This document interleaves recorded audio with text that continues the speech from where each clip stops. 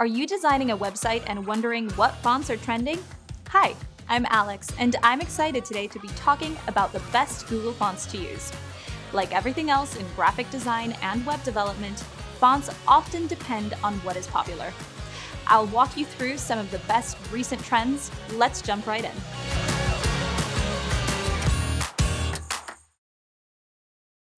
The number of fonts available in Google make finding something new to use an easy task but picking the right font can still be daunting. The following fonts and combinations are ones that are the standout stars. You should definitely try them on your next project. Fonts come in sizes both big and small. When it comes to headings, especially large headings are the in thing. Instead of using plain fonts like Helvetica, serif fonts are more appealing in today's world. They become more and more popular as they provide an elegance and sleekness to the design. Fonts like Playfair Display and Raleway are great picks for today's headings. Bold italics in Playfair Display can give an oversized heading some pizzazz. Raleway is a sans serif font, but it is much more customized and concise when compared to other sans serifs. Here, we see Raleway with Playfair Display as the heading. Massive sans serif fonts are currently dominating web design. To increase the massiveness, a trick designers are using is writing headings in all caps. A good example of this would be Rubik Mono One. It is only available as an uppercase font. The boldness of this font is slightly downplayed by its slightly rounded edges. You can add gradients or background graphics inside these massive fonts. For the running text, a complementary font would be another sans serif, maybe the classic Open Sans. If you don't love Rubik Mono One, there is the Anton font, which looks even more massive due to its slim tracking and thin line width.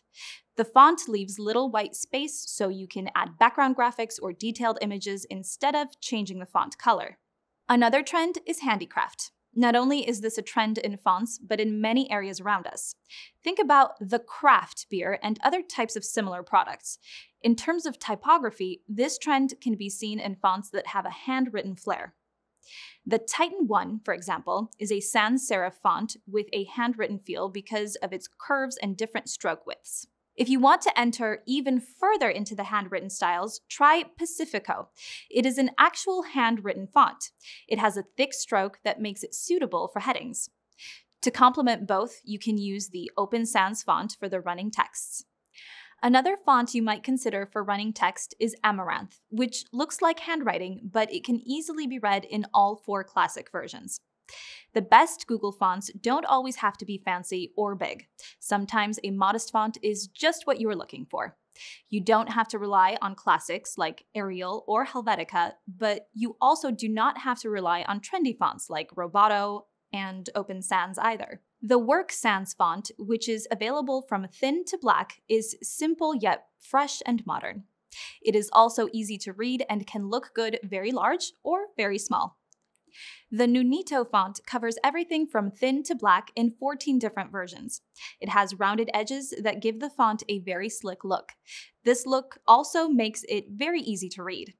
If you really wanted those rounded edges to stick out, it can be used as a heading. Society always wants to reinterpret popular things. Think about quotes that you have heard time and time again. The same holds true for fonts. If you like something classical, you will also enjoy Vidaloka. This font is similar to the Bodoni font, which was a classic font from the 19th century. However, it is less stiff. It has that contrasting stroke width that the fonts from that time are known for. The Poiret One font looks similar to the Art Deco style. It has subtle lines, curves, and the slightly tilted horizontals that give off both a playful and elegant vibe at the same time. There is no lack in the variety of fonts available. Finding the right font still takes some thought and a little trial and error. The trends we talked about today were big headings with serifs, massive sans serif yet playful fonts, sans serifs with handwritten flair, solid sans serif fonts beyond open sans, and a tribute to popular styles such as classicism and Art Deco. Fonts have become as important as the rest of the objects on the page. It will be interesting to see this year's designs. I'm sure new fonts will add even more to our ever-growing selection. Thanks for joining me. I'm Alex. Until next time.